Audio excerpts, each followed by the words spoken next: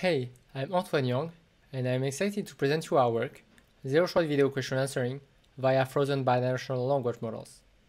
Our code and trained models are available on our project webpage. The traditional approach to video question answering, or video QA, consists of training on manually annotated datasets. However, current state-of-the-art models for video QA require large amounts of manual annotations. Such annotations are difficult to obtain, hence these models cannot scale and generalize to real-world settings. This is why recent works consider a more challenging zero-shot setting requiring not using any manual visual question answer annotation. Recently, a promising line of work builds on frozen autoregressive language models for zero-shot visual question answering. However, these models require billions of parameters to work well, which makes them hard to train and also hard to deploy in practice. In this work, we instead build on frozen bidirectional language models, or BILM, and show that with much fewer parameters, they can perform better for zero-shot video QA. We start from a bidirectional language model pre-trained with masked language modeling on WebText Corpora. Its weights are kept frozen to preserve its text-only knowledge. We adapt the BILM to multimodal inputs by equipping it with a frozen visual backbone, a visual-to-text projection, and a set of lightweight adapters. The trained parameters include the newly initialized modules, together with the layer normalization modules, making up less than 5% of the original language model weights.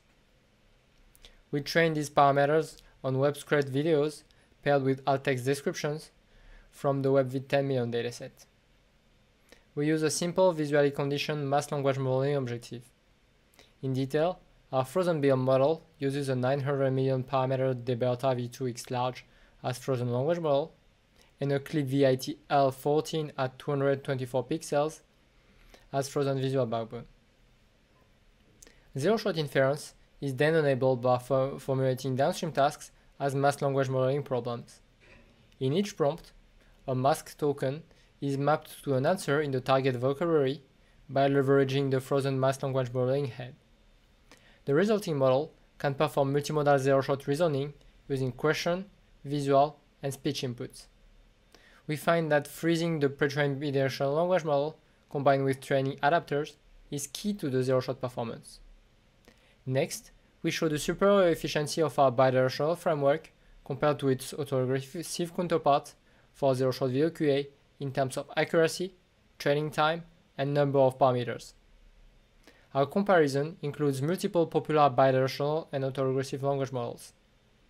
We hypothesize that bidirectional language models perform well because they can be constrained by a suffix to the right of the mask token which helps them know the conciseness of the visual question answering task.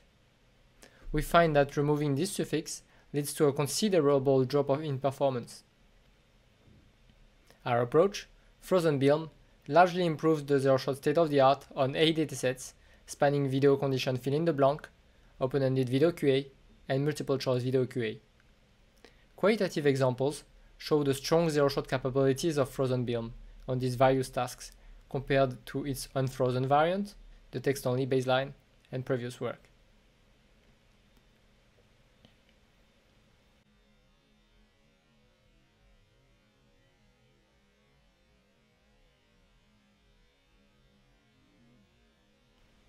Additional examples are shown in a separate video available on our webpage.